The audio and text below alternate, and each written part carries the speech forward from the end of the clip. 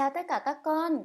Hôm nay cô trò chúng mình lại tiếp tục đi học vần và vần hôm nay chúng mình học là on, ot, on, ot, ơn, ớt.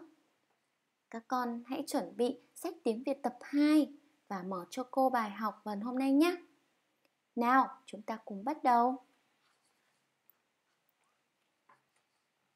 Cô có vần sau.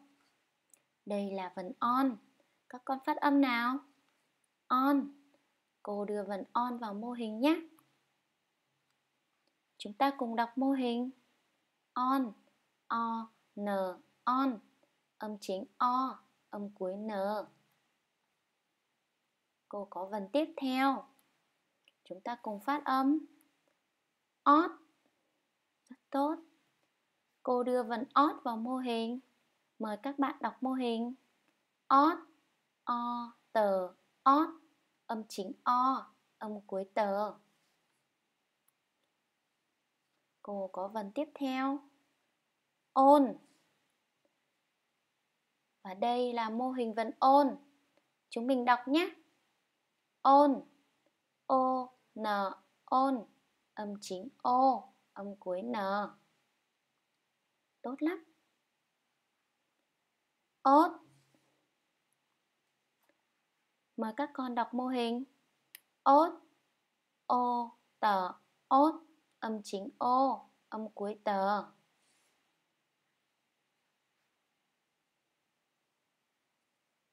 ơn ơn ơ n ơn âm chính ơ âm cuối n giỏi lắm cô có vần cuối cùng đó là vần ớt. Nào, các con phát âm lại. Ớt. Rất tốt. Chúng mình quan sát mô hình nào? Mời chúng ta đọc mô hình. Ớt. Ơ tờ ớt. Âm chính ơ. Âm cuối tờ. Vậy là cô vừa mới giới thiệu cho chúng mình 6 vần mới. Bây giờ chúng mình cùng nhau đọc lại nhé. On o n on. Âm chính o âm cuối n. Ot, o t, ot, âm chính o âm cuối t, on, o n on, âm chính o âm cuối n. Ot, o t, ot, âm chính o âm cuối t, ơn ơ n ơn. Âm chính ơ âm cuối n ớt, ơ, tờ, ớt, âm chính ơ, âm cuối tờ. Rất tốt, bây giờ cô có câu hỏi sau. Các vần mà cô vừa giới thiệu với chúng mình thuộc kiểu vần gì mà chúng mình đã học rồi? Rất giỏi, đó là kiểu vần có âm chính và âm cuối đấy.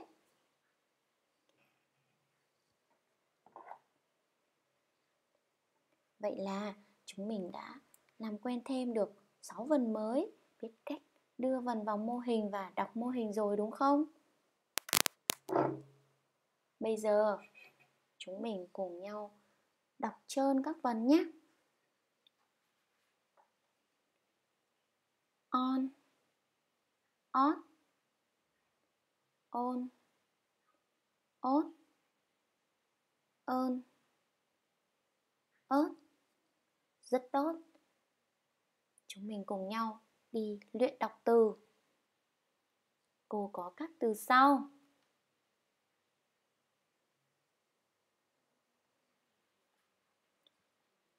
Con trồn.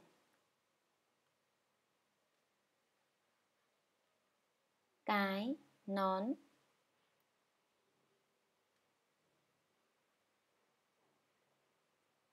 Thờn burn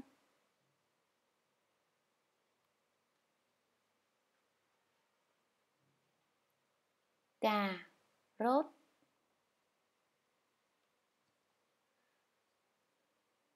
Rất tốt. Các con hãy quan sát tiếng trồn chứa vật gì chúng mình vừa học nhỉ? À đúng rồi tiếng trồn chứa vần ôn đấy. Vậy, hãy phân tích cho cô tiếng trồn. Tiếng trồn có âm chờ đứng trước, vần ôn đứng sau, thanh huyền trên đầu âm ô. Giỏi lắm. Thế còn tiếng bơn thì sao? Tiếng bơn chứa phần ơn mà chúng mình vừa học. Tiếng bơn có âm bờ đứng trước, phần ơn đứng sau và thanh ngang.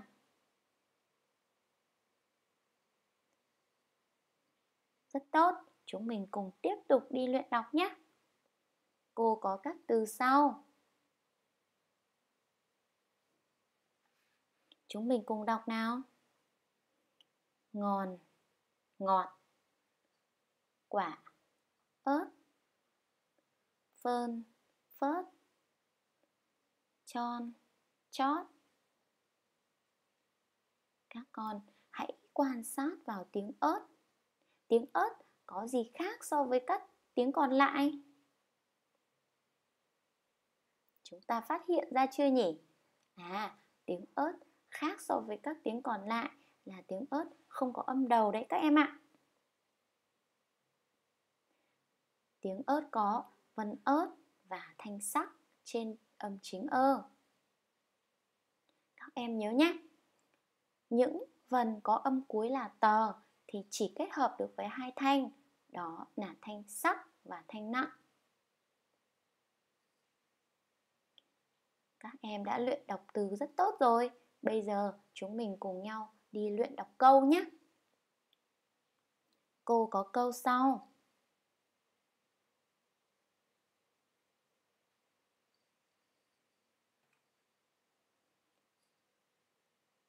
Mời các em đọc cùng cô. Mặn, mất, ngon.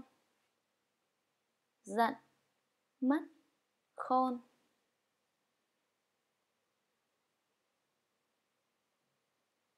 Trong câu mình vừa đọc, tiếng Lào chứa vần chúng ta vừa học nhỉ? Rất giỏi, đó chính là tiếng ngon chứa vần on và tiếng khôn chứa vần ôn. Cô có câu tiếp theo.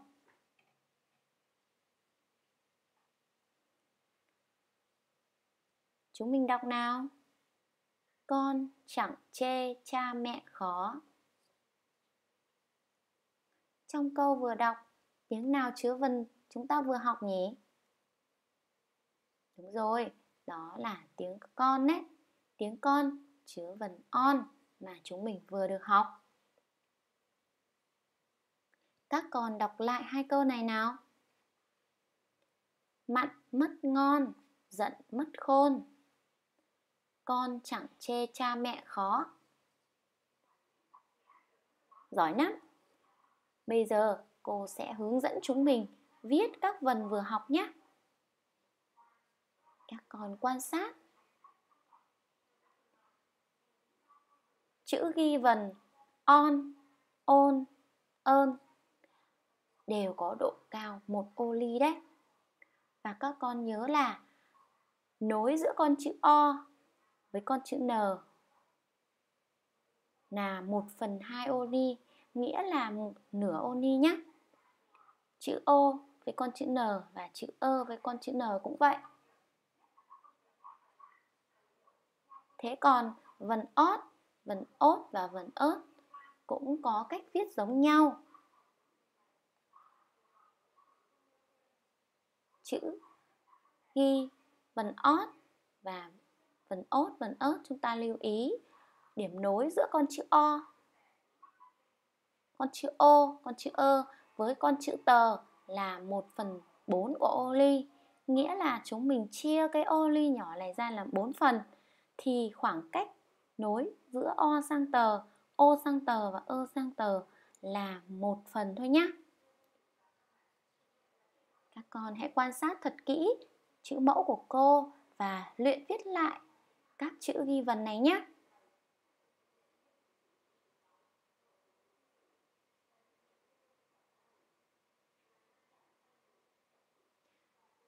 Sau khi viết xong, chúng mình lại tiếp tục đi luyện đọc Và bây giờ chúng mình sẽ luyện đọc một bài dài hơn.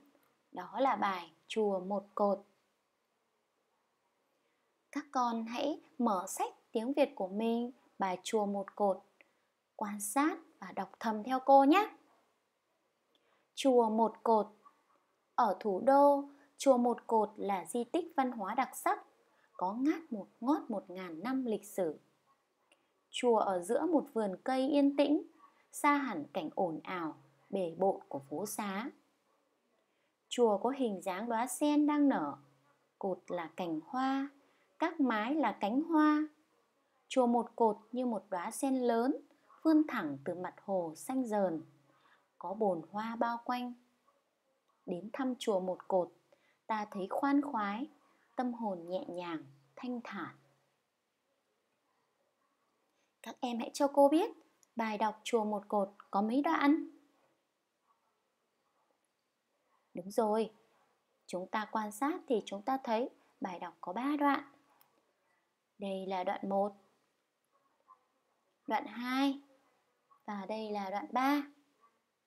Chúng mình hãy luyện đọc bài chùa một cột thật nhiều lần nhé. Nhớ là khi gặp dấu chấm và dấu phẩy, chúng mình hãy ngắt nghỉ nhé. Sau khi luyện đọc xong rồi thì chúng mình hãy viết chính tả đoạn 1 bài chùa một cột vào vở. Đấy chính là yêu cầu của cô. Hãy đọc lại bài on off ôn ốt, ơn ớt thật nhiều lần. Viết chính tả đoạn 1 bài chùa một cột vào vở. Tiết học đến đây là hết rồi. Chào tạm biệt các con.